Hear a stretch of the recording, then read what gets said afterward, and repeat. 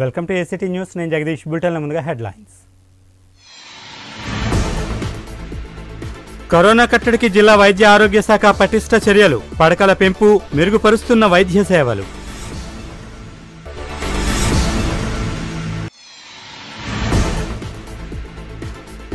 అంతర్రాష్ట్ర ప్రయాణికులకు అనుమతి మంజూరు. రోడ్డెక్కిన ప్రైవేటు బస్సులు.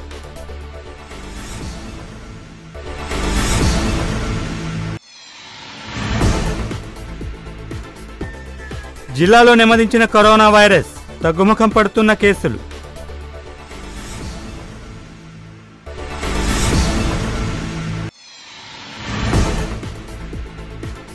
విద్యాసంస్థల పునః ప్రారంభానికి సన్నాహాలు. ప్రభుత్వ ప్రకటనతో చకచకా ఏర్పాట్లు.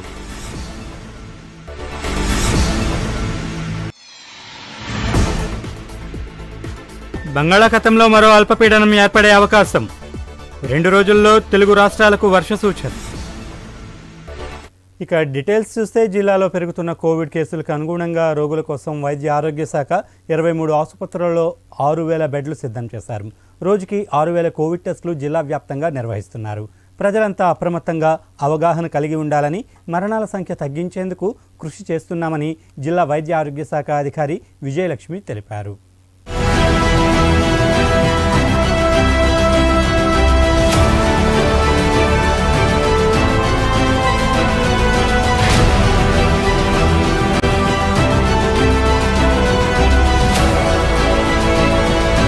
అన్లాక్ తర్వాత రోజురోజుకి కోవిడ్ కేసులు అత్యంత వేగంగా పెరుగుతున్నాయి.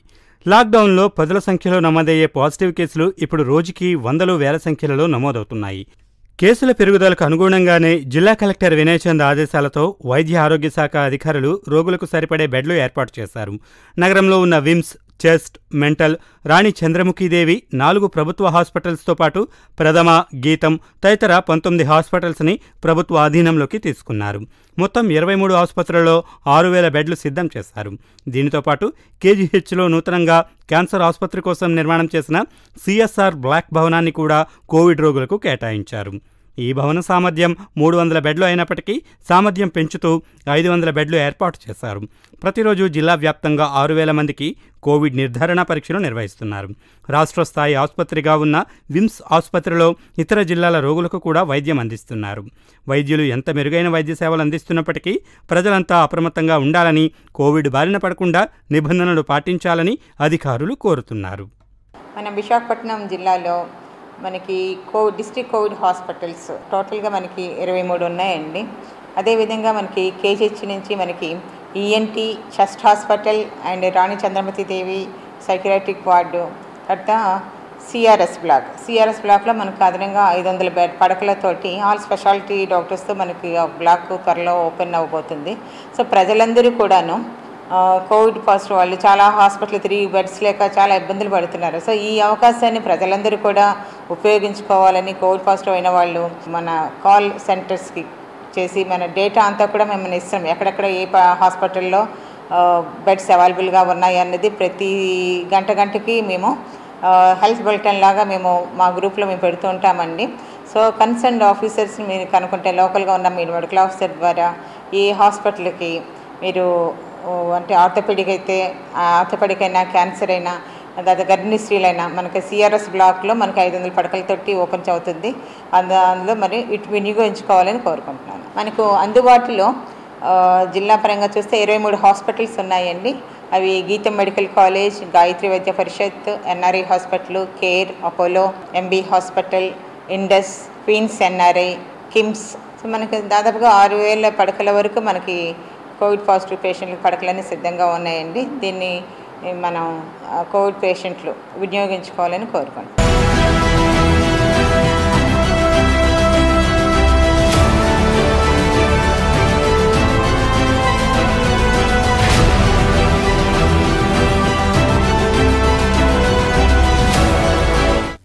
అంతర్రాష్ట్ర బస్సు ప్రయాణికులకు శుభవార్త.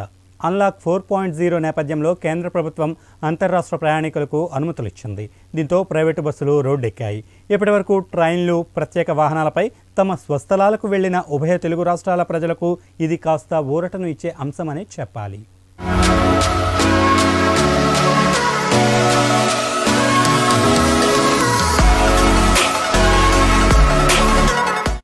కరోనా వల్ల దాదాపు ఐదు నెలలుగా పార్కింగ్కి పరిమితమైన ప్రైవేటు బస్సులు అన్లాక్ ఫోర్ పాయింట్ జీరో నేపథ్యంలో రోడ్డెక్కాయి.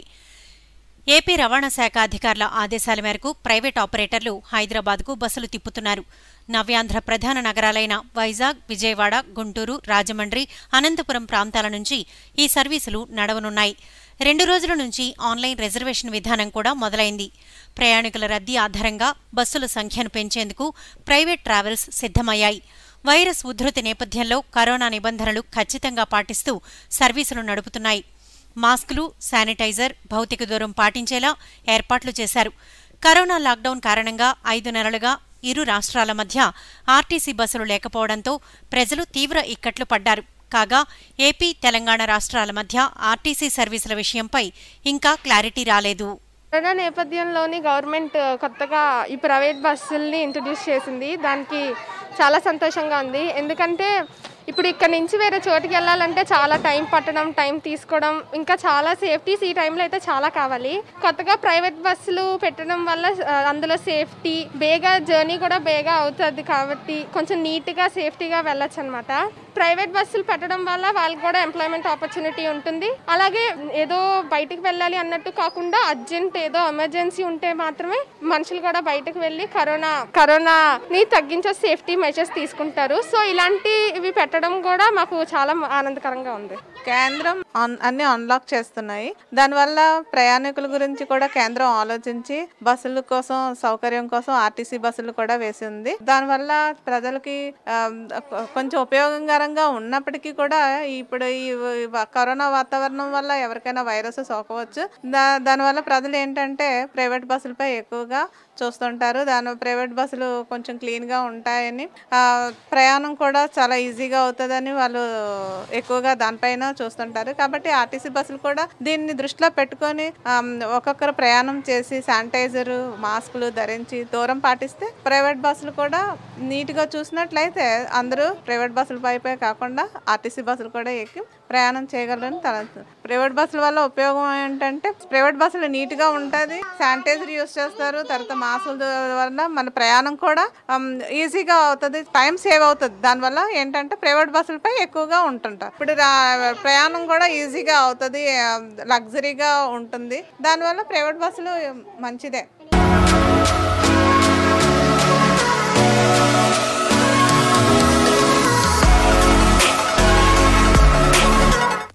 జిల్లాలో కరోనా వైరస్ జోరు కాస్త తగ్గింది. కేసుల నమోదు తగ్గుముఖం పట్టాయి. మరణాలు మాత్రం అదే స్పీడులో కొనసాగుతున్నాయి. తాజాగా ఇరవై నాలుగు గంటల వ్యవధిలో నాలుగు వందల ఇరవై ఆరు కొత్త కేసులు నమోదు కాగా చికిత్స పొందుతూ ఆరుగురు మృతి చెందారు. దీంతో మొత్తం పాజిటివ్ కేసుల సంఖ్య నలభై రెండు వేల మూడు వందల ముప్పైకి చేరాయి. మృతుల సంఖ్య రెండు వందల తొంభై తొమ్మిదికి పెరిగాయి. జిల్లాలో కరోనా ఉధృతి తగ్గుతోంది. కేసుల నమోదులో కాస్త జోరు తగ్గించుంది. అయినప్పటికీ మరణాల సంఖ్య మాత్రం పెరుగుతూనే ఉంది. వైరస్ ఉపశమించడంతో ప్రజలు ఊరట చెందారు. తాజాగా నాలుగు వందల ఇరవై ఆరు కొత్త కేసులు నమోదు కాగా చికిత్స పొందుతూ ఆరుగురు మృతి చెందారు.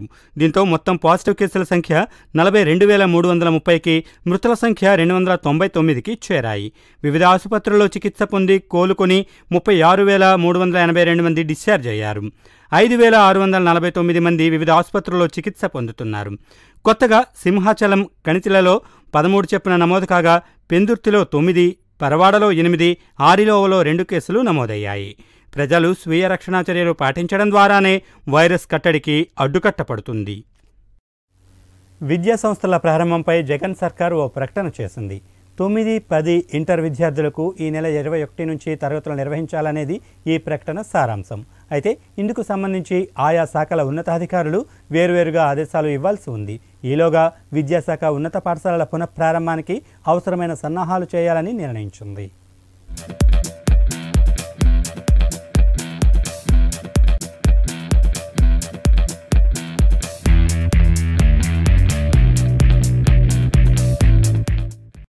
దేశంలో కరోనా ఉధృతి కొనసాగుతోంది. ఈ నేపథ్యంలో కేంద్రం అన్లాక్ ప్రక్రియను కొనసాగిస్తోంది. అందులో భాగంగా ఈ నెల ఒకటిన అన్లాక్ ఫోర్ పాయింట్ జీరోకు సంబంధించిన మార్గదర్శకాలు విడుదల చేసింది. ఇందుకనుగుణంగా రాష్ట్ర ప్రభుత్వము మార్గదర్శకాలను విడుదల చేసింది. రాష్ట్ర ప్రభుత్వ మార్గదర్శకాల ప్రకారం ఈ నెల ఇరవై ఒకటి నుంచి తొమ్మిది పది ఇంటర్ విద్యార్థులు విద్యా సంస్థలకు వెళ్ళవచ్చు ప్రాజెక్టులు పరిశోధనల కోసం పీహెచ్డీ పీజీ విద్యార్థులకు అనుమతినిచ్చింది. ఇందుకు సంబంధించి తాజాగా ఒక ప్రకటన చేసింది. దీంతో జిల్లా అధికారులు అందుకు తగిన ఏర్పాట్లలో నిమగ్నమయ్యారు. తరగతి గదుల్లో విద్యార్థులు పరిమితంగా కూర్చునేలా ప్రణాళికలు రూపొందిస్తున్నారు. అలాగే పాఠశాలలు కళాశాలలకు తగినంత శానిటైజర్ విద్యార్థులకు మాస్కులు సిద్ధం చేయాల్సి ఉంది.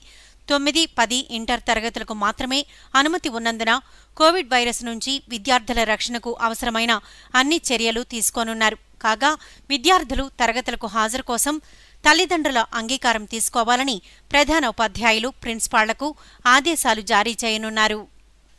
కరోనా నేపథ్యంలోని ఫస్ట్ లాక్డౌన్ పెట్టారు. తర్వాత కొన్ని నెలల తర్వాత కేసులు తగ్గడంతో కరోనా వైరస్ కొంచెం కొంచెం తగ్గడంతో ఇప్పుడు అన్లాక్ చేశారనమాట ఇప్పుడు అన్లాక్ చేయడం ద్వారా పిల్లల భవిష్యత్తు పాడవకూడదన్న ఆలోచనతోని ముఖ్యమంత్రి గారు తొమ్మిదో తరగతి పదో తరగతి ఇంటర్ విద్యార్థులకి స్కూళ్ళు కాలేజీలు పెట్టడం చాలా మంచి విషయం. ఎందుకంటే రేపు భావి భవిష్యత్తుకు కూడా ఈనాటి విద్యార్థులే చాలా హెల్ప్ఫుల్. అలాంటిది పిల్లల చదువు గురించి ఆలోచించి ఇలాంటి నిర్ణయం తీసుకోవడం కూడా మాకు చాలా ఆనందంగా ఉంది ఒక స్టూడెంట్గా. ఇప్పుడు లాక్డౌన్లోనే ఆన్లైన్ క్లాసెస్ అవన్నీ పెట్టి మాకు చదువు చెప్తున్నారు. కానీ ఆన్లైన్ క్లాసెస్ వల్ల మేము ఫుల్గా వినలేకపోతున్నాము. దాని మీద అంత కాన్సన్ట్రేట్ చేయలేకపోతున్నాము. కానీ ఫిజికల్గా మేము క్లాస్ క్లాసెస్ డైరెక్ట్గా వినడం వల్ల బాగా విని మాకు ఏమైనా డౌట్స్ ఉన్నా కూడా టీచర్ని మేము అడిగి తెలుసుకుంటాం డైరెక్ట్గా. కానీ దీనివల్ల మేము అడగలేము ఒక్కొక్కరొక్కరు మాట్లాడుకోలేరు. సో ఈ నిర్ణయం గవర్నమెంట్ తీసుకోవడం వల్ల చాలా మంచిదని మేము అనుకుంటున్నాము. ఈ నెల ఇరవై ఒకటి నుండి ninth class tenth class intermediate PG PhD అన్ని క్లాసులు కూడా నిర్వహించాలని చెప్పి రాష్ట్ర ప్రభుత్వం నిర్ణయించింది. ఎందుకంటే వీరు విద్యార్థుల భవిష్యత్తును దృష్టిలో పెట్టుకొని ఈరోజు నిర్ణయించడం జరిగింది. అయితే రాష్ట్ర ప్రభుత్వం కూడా వాళ్ళ తల్లిదండ్రులకు స్వేచ్ఛనిచ్చింది ఎవరైతే హామీ పత్రంతో మా పిల్లలు స్కూల్కి పంపడానికి కానీ కాలేజీకి పంపడానికి ఇష్టమైతేనే మాత్రమే అనే హామీ తీసుకొని ఈరోజు స్కూల్కి వెళ్ళమని చెప్పి రాష్ట్ర ప్రభుత్వం చెప్పింది. కానీ విద్యార్థుల భవిష్యత్తును దృష్టిలో పెట్టుకొని రాష్ట్ర ప్రభుత్వం చెబితే గుడ్డిగా ఈరోజు ప్రతిపక్షం విమర్శించడం సరైనటువంటి పద్ధతి కాదు. అలాగే ఈ కళాశాల యాజమాన్యాలు కూడా రాష్ట్ర ప్రభుత్వం పర్మిషన్ ఇచ్చిందని చెప్పి ఒక క్లాస్ రూమ్లో నలభై మందినో యాభై మందినో తొలకుండా సిప్లి సిస్టమ్ పెట్టి ఒక క్లాస్ రూమ్కి ఇరవై మంది మాత్రమే పెట్టి భౌతిక దూరం పాటించి తద్వారా ఏదైతే రాష్ట్ర ప్రభుత్వం ఆశయాలు ఉన్నాయో కరోనాని ఏ విధంగా కట్టల్లో భాగంగా ఈ జాగ్రత్తలు అయితే ఏమున్నాయో అవన్నీ కూడా ముఖ్యంగా ప్రైవేట్ కళాశాలల యాజమాన్యాలందరూ కూడా పాటించి ఈ రాష్ట్ర ప్రభుత్వానికి ఈ దేశ అభివృద్ధికి భాగస్వాములు అవ్వాలని చెప్పి తెలియజేస్తున్నాం. అలాగే తల్లిదండ్రులు కూడా దీనిపైన అవగాహన చేసుకోవాలి. కరోనా అనేది సహజీవనం చేసేటటువంటి వ్యాధి. ఇది ఒక రోజు అంతమయ్యేది కాదు. కాబట్టి భవిష్యత్తు మీ పిల్లల భవిష్యత్తు కోసమే గౌరవ ముఖ్యమంత్రి జగన్మోహన్ రెడ్డి గారు ఇలాంటి నిర్ణయం తీసుకున్నారు తప్ప మీ పిల్లల్ని ఏదో బలి చేయాలనేటటువంటి ఉద్దేశం కాదు. కాబట్టి తల్లిదండ్రులు కూడా మంచి దృక్పథంతో మంచి ఆలోచనతో జగన్మోహన్ రెడ్డి గారి ఆశయాలను మీరు కూడా ఆలోచించి భౌతిక దూరం పాటించడం ద్వారా ఈ వ్యాధి విస్తరించదు. కాబట్టి ఇది ఎప్పటికైనా అందరికి రావాల్సిందే. కాబట్టి ఇవన్నీ మెలుకులు తెలుసుకొని తల్లిదండ్రులు కూడా రాష్ట్ర ప్రభుత్వానికి కూడా సహకరించాలని చెప్పి కూడా విజ్ఞప్తి చేస్తా ఉన్నాం.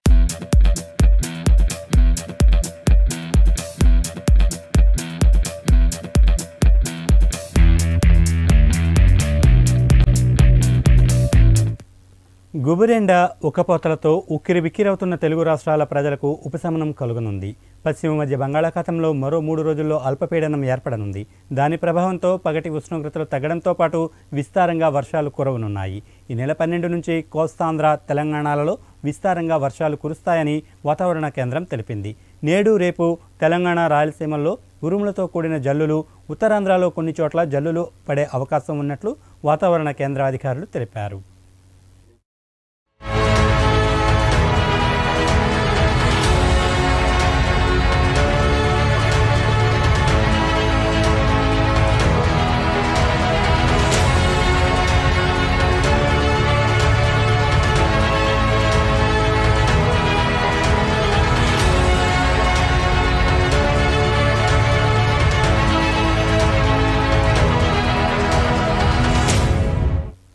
నగర అవసరాలకు మంచినీటిని సరఫరా చేసే రిజర్వాయర్లు జలకళను సంతరించుకున్నాయి. కొద్ది రోజులుగా కురుస్తున్న వర్షాలకు నిండు కుండలను తలపిస్తున్నాయి. ప్రస్తుత నీటి మట్టాలతో రానున్న వేసవిని సులభంగా గట్టెక్కేయవచ్చు.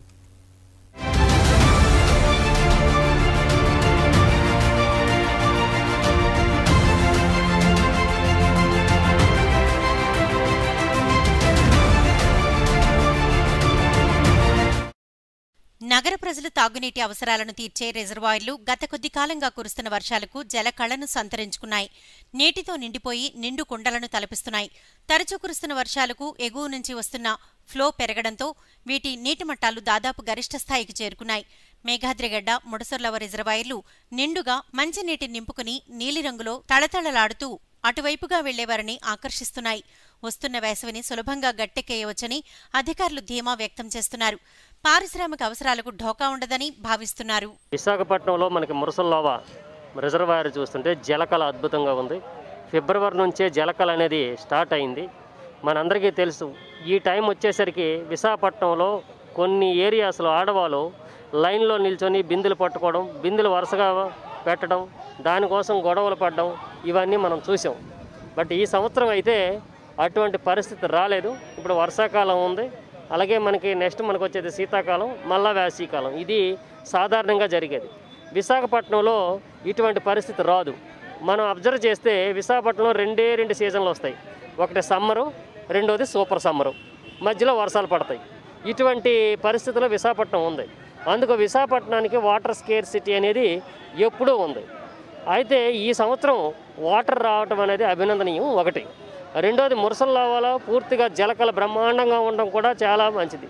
దీనికి కారణాలు కానీ మనం చూసుకుంటే ఈ లాక్డౌన్ వచ్చిన తర్వాత విశాఖపట్నంలో పొల్యూషన్ తగ్గింది. ఎప్పుడైతే పొల్యూషన్ తగ్గిందో చుట్టుపక్కల ప్రాంతాలు వర్షాలు పడడం మొదలైంది. ఎప్పుడైతే వర్షాలు పడ్డాయో ఈ జలకళ అనేది ఉంది. అయితే ఇప్పుడు ప్రజల బాధ్యత ప్రభుత్వం బాధ్యత ప్రభుత్వం చేయించవలసిన బాధ్యత. మొత్తం మూడు రకాలు ఉంటాయి. ప్రజల బాధ్యత ఏంటి అంటే జల వనరుల్ని కాపాడుకోవాలి. అంటే ముఖ్యంగా అపార్ట్మెంట్లు కానీ ఇవన్నీ ఉండేటప్పుడు వాళ్ళు ఒక ఇంకుడు గుంతను తవ్వించుకొని ఈ జలం ఏదైతే వర్షం నీరు పడిందో ఇదంతను ఇంకించి భూగర్భ జలాలు పెంచుకోవాలి. ఎందుకు ఇది విశాఖపట్నంకి ప్రత్యేకంగా అవసరం అంటే విశాఖపట్నం కోస్టల్ ఏరియాలో ఉంది. విశాఖపట్నంలో పరిశ్రమలు ఉన్నాయి హాస్పిటల్స్ ఉన్నాయి హోటల్స్ ఉన్నాయి. ఇవన్నీ కూడా విపరీతమైన జలాన్ని వాడడం వల్ల భూగర్భ జలాలే ఎక్కువ తీస్తున్నారు. అది ఒకటి. రెండోది ఏంటి అంటే ఇప్పుడు రిజర్వాయర్ మనకి నిండి ఉంది రిజర్వాయర్ నుంచి నీటిని శుద్ధి చేసి ప్రజలందరికీ పొదుపు చర్యలు పాటించి వా- వాటర్ అందించడం అనేది చాలా ముఖ్యం ప్రభుత్వం తీసుకోవాల్సింది. హోటల్స్ కానీ పెద్ద పెద్ద నర్సింగ్ హోమ్స్ ఏదైతే మ- మురసలవ రిజర్వాయర్ ఏరియాల్లో ఉన్నాయో అది విపరీతంగా వాటర్ వాడడం వల్ల భూగర్భ జలాలు తగ్గిపోయింది. గతంలో చూసుకుంటే లాస్ట్ ఇయర్కే తగ్గిపోయి ఉన్నాయి. అక్కడ ఆరిలోవల కానీ అలాంటి కూడా బోర్లన్నీ ఎండిపోవడం జరిగింది మనం చూసాం. కానీ ఇటువంటి అప్పుడు ఏంటి అంటే వాళ్ళు ఈ వాటర్ను వాడించే విధంగా ప్రభుత్వమే చెయ్యాలి. అంటే ప్రజలందరూ దీన్ని సహకరించాలని ప్రభుత్వం తోడ్పడాలని ముఖ్యంగా బ్రోకర్లు ఏదైతే వేస్ట్ చేస్తుంటారో అటువంటి వాళ్ళని కట్టడి చేసి తప్పనిసరి మీరు ఈ జలవనరులను రక్షించే బాధ్యత మీది అని ప్రభుత్వం కానీ ఒక చట్టం చేసుంటే తప్పనిసరి విశాఖపట్నానికి ఈ నీటి కొరత నుంచి భవిష్యత్తులో రక్షించుకోగలం అనేది నా అభిప్రాయం.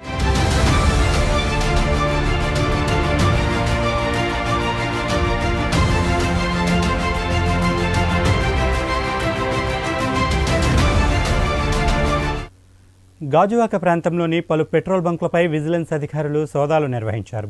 కొత్త గాజువాక వీచలమయ్య పెట్రోల్ బంకులో మూడు గంటలకు పైగా తనిఖీలు జరిపారు. అదే సమయంలో బంకులోకి ట్యాంకర్ వచ్చింది. ట్యాంకర్లో డీజిల్ కొట్టించారు. అనుమతులు లేకుండా డీజిల్ తీసుకెళ్ళడం నేరమని ఎన్ఫోర్స్మెంట్ సివిల్ సప్లైస్ అధికారులు కేసు నమోదు చేశారు. ఈ దాడుల్లో విజిలెన్స్ డీఎస్పీ అన్నెపు నరసింహమూర్తి కూడా పాల్గొన్నారు.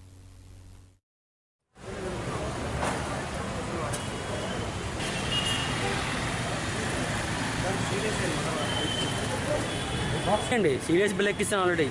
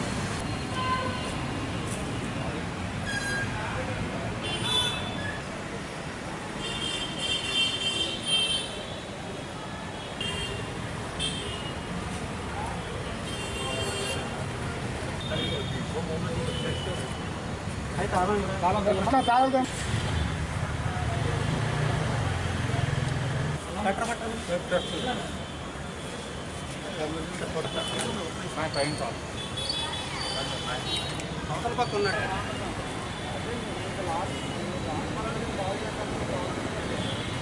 జనరల్ చెకప్లో అదే హైదరాబాద్లో జిమ్లు పెట్టి మోసం చేస్తున్నారని దాని మీద విజిలెన్స్ అండ్ ఎన్ఫోర్స్మెంట్ వాళ్ళము plus legal metrology civil supplies ముగ్గురం టీమ్గా వచ్చి ఇక్కడ ఉన్న డాక్యుమెంట్స్ని మరియు అన్ని వెరిఫై చేశాము మేము వచ్చినప్పుడు ఇక్కడ ట్యాంకర్ల వాళ్ళు డీజిల్ కొడుతున్నారు. దాని గురించి ట్యాంకర్ వివరాలు ట్యాంకర్కి ఉన్న పర్మిషన్స్ అన్నీ అడగ ట్యాంకర్కి ఏ పర్మిషన్ లేవన్నారు. అందుకని ఆ ట్యాంకర్ మీద ఆ ట్యాంకర్ సీజ్ చేసి దాని ఉన్న స్టాక్ కూడా సీజ్ చేస్తున్నాము. అది జాయింట్ కలెక్టర్ గారికి కేసు పెడుతున్నాం దీని మీద సార్ ఇప్పుడు మిగతా బంకుల వాళ్ళు కూడా మేనేజ్మెంట్ వాళ్ళు కూడా ఇక్కడికి వచ్చి కూర్చోవాల్సి మాట్లాడడం పరిస్థితి ఏంటి సార్? అంటే మిగతా బంకుల వాళ్ళు కూడా ఇక్కడికి ఎందుకు తప్పించారు ఆ ట్యాంకర్ మాది కాదు అది వాళ్ళ మాత వాళ్ళని కన్ఫర్మ్ చేయడానికి వచ్చారు సార్? ఆ ట్యాంకరు మా వీళ్ళది కాదు మాత వాళ్ళని అంటే వాళ్ళు గతంలో. చేసిన ఇది మీద అభియోగాలు ఉన్నాయి వీళ్ళు సెటిల్మెంట్ చేసుకోవడానికి వచ్చారని చెప్పి చాలా మంది అలా. ఏం లేదండి. అలా ఏం లేదు. మీ అందరి మందులే నేను వచ్చి మాట్లాడాను అలాంటిది ఓకే సార్. Okay sir. రాష్ట్ర కోవిడ్ ఆసుపత్రిగా ఉన్న విమ్స్లో కరోనా రోగులకు మెరుగైన వైద్య సేవలు అందుతున్నాయని విమ్స్ డైరెక్టర్ డాక్టర్ సత్యవర ప్రసాద్ పేర్కొన్నారు. రోగులకు ఎటువంటి ఇబ్బందులు కలగకుండా సిబ్బంది ఎప్పటికప్పుడు అప్రమత్తంగా ఉంటున్నారని ఆయన చెప్పారు. కరోనా వైరస్ విస్తృత వ్యాప్తి నేపథ్యంలో మరింత మెరుగైన వైద్య సేవలు అందించేందుకు వీలుగా అన్ని ఏర్పాట్లు చేస్తున్నామని తెలిపారు. సెంటర్లో నాలుగు జిల్లాలకు సంబంధించి కోవిడ్ పాజిటివ్ కాంప్లికేటెడ్ కేసెస్ని ఇక్కడ ట్రీట్ చేస్తారు. అంటే కోమార్బిటీస్ కూడా ఉంటాయి. అంటే డయాబెటీస్ హైపర్ టెన్షన్ తర్వాత క్యాన్సర్ రీనల్ ఫెయిల్యూర్ అంటే కిడ్నీ డిసీజెస్ సంబంధించినవన్నిటిని ట్రీట్ చేస్తుంటామండి. సో ఈ సెంటర్లో దాదాపుగా ఈ నాలుగు జిల్లాల నుంచి ఇప్పటి వరకు రెండు వేల రెండు వందల కేసుల్ని ట్రీట్ చేశామండి. దాదాపుగా నైంటీ పర్సెంట్ కేసెస్ అన్ని డిశ్చార్జ్ అయ్యాయి. అంటే కాంప్లికేటెడ్ కేసెస్లో మార్టాలిటీ ఉంటుంది కాబట్టి సో పది శాతమే పేషెంట్స్ని మనకి ఇక్కడ చనిపోవటం జరిగింది. చాలా చాలా ఎఫెక్టివ్గా కూడా ట్రీట్మెంట్ ఇస్తున్నాం. అంటే స్పెషలిస్టులు సూపర్ స్పెషలిస్టులు అందరూ వచ్చి రౌండ్ ది క్లాక్ మనం ట్రీట్మెంట్ ఇస్తున్నాము. సో ఇక్కడ ఎక్విప్మెంట్ కూడా చాలా మోడర్న్ ఎక్విప్మెంట్ ఉందండి. అన్ని మందులు కూడా ట్రీట్మెంట్ కూడా ఉచితంగా ఇస్తున్నాం. మీకు అందరికీ తెలుసు ప్రైవేట్ హాస్పిటల్స్లో పేషెంట్ కానీ ట్రీట్మెంట్ ఇస్తే లక్షల లక్షలు ట్రీట్మెంట్ అవుతుంది ఖర్చు అవుతుంది. కానీ ఇక్కడ అన్ని మొత్తం లేటెస్ట్ అండ్ మోడర్న్ డ్రగ్స్తో కూడా కలిపి పూర్తి ఉచితంగా ఇస్తున్నాం. సో దీన్ని ఈ ప్రజలంతా వినియోగించుకోవాల్సిందిగా కోరుచున్నాం. సో మనకి ఇక్కడ దాదాపుగా six hundred and fifty beds ఉన్నాయి. దాంట్లో two hundred and sixteen ventilator సదుపాయంతో ఉన్నాయి. మొత్తం ఆరు వందల యాభై బెడ్లు కూడా ఆక్సిజన్ సదుపాయం ఉంది. అండ్ వెంటిలేటర్స్ కూడా సమృద్ధిగా ఉన్నాయి మన సో సర్ప్లస్గా కూడా ఉన్నాయి. పరిపాలనా రాజధాని కాబోతున్న విశాఖలో భూముల ధరలు ఆకాశాన్ని అంటుతున్నాయి దీనిలో భూముల క్రయ విక్రయాలు తగ్గడంతో రిజిస్ట్రేషన్లు తగ్గిపోయాయి. రాష్ట్ర ఖజానాకి భారీగా ఆదాయం తగ్గిపోతుంది. దసరా తరువాత నుంచి రాజధాని కార్యాలయాలు ఒక్కొక్కటిగా విశాఖకు తరలి వస్తాయనే పుకార్లు షికార్లు చేస్తుండడంతో అమ్మకాలు నిలిపేశారు. అప్పటి వరకు కేవలం పదివేల రూపాయలు కూడా చేయని ఎకరం భూమి ధర ఒక్కసారిగా కోట్ల రూపాయలు ధర పలికింది. రైతు రాజయ్యాడు. సామాన్యుడు అపర కుబేరుడయ్యాడు. ఇది రెండు వేల నాలుగు సంవత్సరం మాట. ఇప్పుడు అదే సీన్ విశాఖలో రిపీట్ కాబోతోంది. ఇప్పటికే సామాన్యుడికి అందుబాటులో లేని ధరలు ఇప్పుడు మరింత పెరిగిపోయాయి. స్థిరాస్తి వ్యాపారులు కూడా వ్యాపార జోరు తగ్గించారు. విశాఖకు చుట్టుపక్కల యాభై కిలోమీటర్ల లోపు సామాన్య మానవుడు ఇంటి స్థలం కొనుగోలు చేసే పరిస్థితి లేదు. ఇప్పుడు మరింత పెరిగిపోయాయి. విశాఖలో స్టేట్ గెస్ట్ హౌస్ నిర్మాణం చేయతలపెట్టడం భోగాపురంలో అంతర్జాతీయ విమానాశ్రయం సాగర తీరం పొడవునా ట్రామ్ మెట్రోరైల్ ప్రాజెక్టు ఇలా అంతర్జాతీయ స్థాయి అభివృద్ధి ఒకవైపు పరిపాలనా రాజధాని కాబోతోందని మరోవైపు ఇలా స్థిరాస్తులకి క్రయ విక్రయాలు నిలిచిపోయాయి. దసరా తరువాత నుంచి పరిపాలనా రాజధాని కార్యాలయాలు విశాఖకు ఒక్కొక్కటిగా తరలి రానున్నాయని పుకార్లు షికార్లు చేస్తుండడంతో స్థిరాస్తి అమ్మకాలు నిలిపేశారు. తద్వారా రాష్ట్ర ఖజానాకు అత్యంత ఆదాయం తెచ్చిపెట్టే రిజిస్ట్రేషన్ శాఖకు భారీగా ఆదాయం గండిపడుతోంది. ఈ సంవత్సరం ఏప్రిల్లో లాక్డౌన్ కారణంగా ఆదాయం నిలికాగా గత సంవత్సరంతో పోలిస్తే మే జూన్ నెలల్లో నలభై తొమ్మిది శాతం మాత్రమే ఆదాయం వచ్చింది అంటే పరిస్థితి అర్థమవుతోంది. ఇప్పటికైనా రాష్ట్ర ప్రభుత్వం దృష్టి సారించి భూముల ధరలు తగ్గే విధంగా చర్యలు చేపట్టాలని విశాఖ వాసులు కోరుకుంటున్నారు. ఈరోజు విశాఖపట్నం ఆర్థిక రాజధానిగా ఉందని చెప్పేసి ఇక్కడ ఎగ్జిక్యూ ఎగ్జిక్యూటివ్ క్యాపిటల్ని పెట్టాలని చెప్పేసి రాష్ట్ర ప్రభుత్వం ప్రయత్నాలు చేస్తున్న దగ్గర నుంచి కూడా విశాఖపట్నం కానీ విశాఖపట్నం చుట్టూ ఉండే మండలాలు ఏవైతే ఉన్నాయో వీటిలో భూ భూమి ధరలు అనేవి చాలా విపరీతంగా బా బాగా పెరిగిపోయినాయి. దీనికి ప్రభుత్వం కూడా ఊతం ఇచ్చేటట్లుగా కొన్ని చర్యలు కూడా ఈ కాలంలో జరిగాయి. ఎందుకంటే విశాఖపట్నం ఆనుకొని భోగాపురం ఇంటర్నేషనల్ ఎయిర్పోర్ట్ నిర్మిస్తున్నామని చెప్పేసి ఒకటి. అలాగే ఇప్పుడు ఏదైతే సిక్స్ లైన్స్ రోడ్ ఆల్రెడీ ఇటు అనకాపల్లి నుంచి భీమిలి మీదుగా మొత్తం శ్రీకాకుళం నేషనల్ హైవేని కలుపుతూ వెళ్తుంది. అదొకటి. అలాగే ఇప్పుడు ఆర్థిక రాజధానికి సంబంధించిన కట్టడాలన్నీ కూడా ఇప్పుడు బీచ్ రోడ్లోని లేదనుకుంటే భీములి లేదంటే లేదంటే కాపులపాడ ఈ ప్రాంతంలో పెడతామని చెప్పేసి ఇలాగా. అలాగే కొన్ని పారిశ్రామిక కారిడార్ అని చెప్పేసి ఇటు అచ్యుతాపురం కానీ నక్కపల్లి వైపు కానీ ఈ విధంగా మొత్తం ప్రభుత్వం అంతా కూడా కొన్ని చర్యలు అనేవి ఈ కాలంలో ఈ భూముల ధరలు విపరీతంగా పెరగడానికి బాగా ఉపయోగపడ్డాయి. భూముల రేట్లు పెరుగుతున్నాయి. కానీ ఇది ఎవరికి ఉపయోగపడుతుంది అనే కోణంలో మనం పరిశీలిస్తే ఇది మాత్రం సామాన్యులకి మధ్యతరగతి లేదంటే పేదవాళ్ళకి ఎవరికి కూడా ఇది అనేది ఏదైతే నూటి తొంభై శాతం ఉన్నారో వాళ్ళెవ్వరికి కూడా ఉపయోగం లేదు. ఇది ఎవరికంటే ఈ భూమిని లేదంటే ఇప్పుడున్న ఈ ఈ వసతులు ఏవైతున్నాయో వీటన్నిటిని చూపించి ఇది రియల్ ఎస్టేట్ భూమికి బాగా ఉపయోగపడటానికి అలాగే ధరలు విపరీతంగా పెరిగి ఏదైతే ఇక్కడ కాస్తో కోస్తో ఉండే అప్పర్ మిడిల్ క్లాస్ వీళ్ళందరికీ కూడా భూములు లేదనుకుంటే ఫ్లాట్లు ఇలాంటివి కొనుక్కొని ఎక్కువ ధరలకు అమ్ముకొని బాగా లాభ లాభపడటానికి ఇది రియల్ ఎస్టేట్ వ్యాపారానికి బాగా అనుకూలంగా ఉండే విధంగా ప్రభుత్వ చర్యలు అనేవి ఉన్నాయి. విశాఖపట్నం రాజధాని అన్నారు. రాజధాని అన్న తర్వాత ఎక్కడ కడతారు ఏంటి అనేది ఒక క్లారిటీ లేదు. దీనిలో మెట్రో ఒకటి ఒక పక్క ఏమో ఫైవ్ లైన్స్ వేస్తామని చెప్పడం ఒక పక్క రాజధాని కడతామని చెప్పడం ఒక పక్క విమానాశ్రయం కడతామని చెప్పడం ఎవరు కూడాను ఈ విజయవాడలో దా- దాన్ని గుర్తుంచుకొని ఎవరు కూడా కొండం మానేశారు. అంతేకాకుండా ఎక్కడ ఫ్లాట్ కొనుక్కోవాలి ఎక్కడ ఉండాలి అలాగే ఇప్పుడు మనకి రియల్ ఎస్టేట్ వాళ్ళు. ఏ విధంగా ఎక్కడ కొనుక్కుంటే ఎక్కడ రేటు పెరుగుతుంది అనేది ఈ మధ్యకాలంలో విపరీతంగా తర్జన భర్జన అయ్యి మొత్తం మీద రిజిస్ట్రేషన్లు అయితే ఆగిపోయాయి. రిజిస్ట్రేషన్లు ఆగిపోవడం వల్ల ఉన్న ప్రాబ్లము ఏంటి అంటే ముఖ్యంగా పర్టికులర్గా భవన నిర్మాణ కార్మికులకి విపరీతమైన దెబ్బ తగులుతుంది. ఎందుకంటే తప్పనిసరి వాళ్ళకి పని ఉండదు. ముఖ్యంగా జ మన జగన్మోహన్ రెడ్డి గారు వచ్చిన తర్వాత ఎక్కువగా దెబ్బతిన్నది ఎవరంటే భవన నిర్మాణ కార్మికులు. అంటే చర్యలను ఆపు ఆపాలనేది అనేది కానీ డిమాండ్ ఇస్తే డెఫినెట్గా రియల్ ఎస్టేట్ని చిన్నవాళ్ళు పెద్దవాళ్ళు అందరి చేతిలో ఉంటేనే అది సరసమైన ధరకు వస్తుంది తప్ప ఒక్క ఒక్కరి చేతులని మోనోపలైజ్ అయిపోతే ఇది తప్పనిసరి రాదు. వెంటనే పెద్ద బడా కార్పొరేట్లు వస్తారు. విపరీతమైన రేటు పెరిగిపోతుంది. అంతేకాకుండా వాళ్ళ కార్మికుల పొట్టలు కొట్టడమే మెయిన్ ఎజెండాగా పెట్టుకుంటారు. ఇప్పుడు ఒక కార్మికుడు చనిపోతే ఐదు లక్షల వరకు బీమా అంటూ ఉంది. అటువంటి కానీ వచ్చాయంటే ఏవి కూడా ఇటువంటి ఫెసిలిటీస్ కార్మికులకు రావు కాబట్టి కార్మికులు చిన్న తరగతి పెద్ద తరగతి అందరూ కూడా దీనిలో పాల్గొని దీన్ని వ్యతిరేకించాలని నా అభిప్రాయం అండి. ముడిసెర్లో ఓ పార్కు ఎదురుగా ఓ యువకుడు ఆత్మహత్య చేసుకున్నాడు. పార్కు వద్ద గల చెట్టుకు ఉరివేసుకుని ఊపిరి వదిలాడు. ఘటనా స్థలానికి చేరుకున్న ఆరిలో పోలీసులు కేసు దర్యాప్తు చేస్తున్నారు. మృతదేహాన్ని పోస్టుమార్టంకు తరలించి యువకుని వివరాలు తెలుసుకునే ప్రయత్నం చేస్తున్నారు.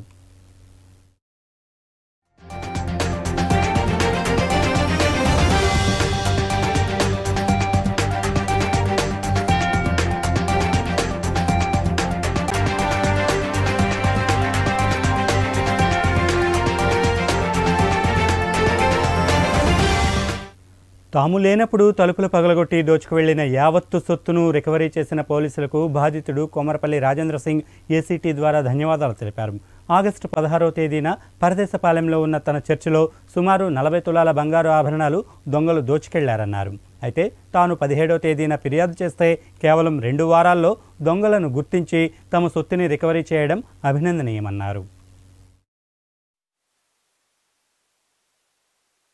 బిషప్ రాజేంద్ర సింగ్ కొమనపల్లి మాట్లాడుతున్నాను పరదేశపాలెంలో ఆగస్టు పదహారున చాలా తీవ్రమైన చోరీ జరిగింది. ఊహించిన వ్యక్తుల ద్వారా సోమవారం ఉదయం అది చూసిన వెంటనే తలుపులు బదులు కొట్టడం గ్లాసులు బదులు కొట్టడం లోపల ఉన్న సరుగులన్నీ తీసేయడం.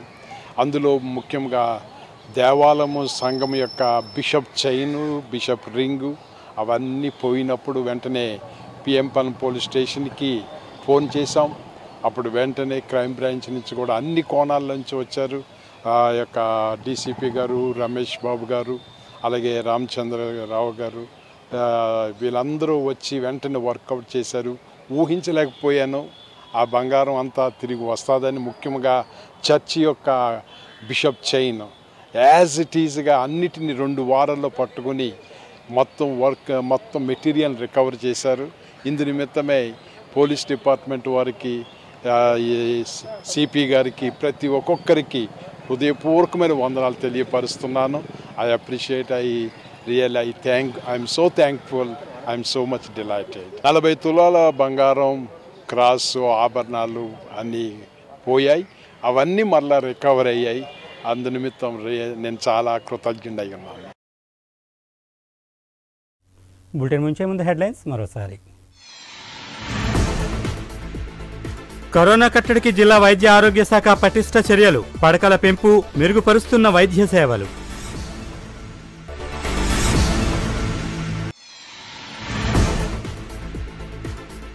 అంతర్రాష్ట్ర ప్రయాణికులకు అనుమతి మంజూరు రోడ్డెక్కిన ప్రైవేటు బస్సులు.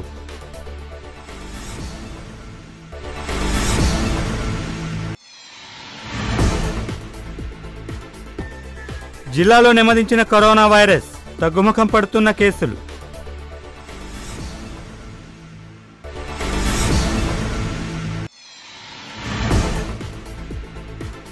విద్యాసంస్థల పునః ప్రారంభానికి సన్నాహాలు ప్రభుత్వ ప్రకటనతో చకచకా ఏర్పాట్లు.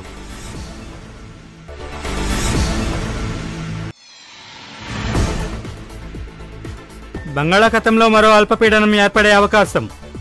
రెండు రోజుల్లో తెలుగు రాష్ట్రాలకు వర్ష సూచన. ఏసీటీ వార్తలు ఇంతటితో సమాప్తం. నమస్కారం.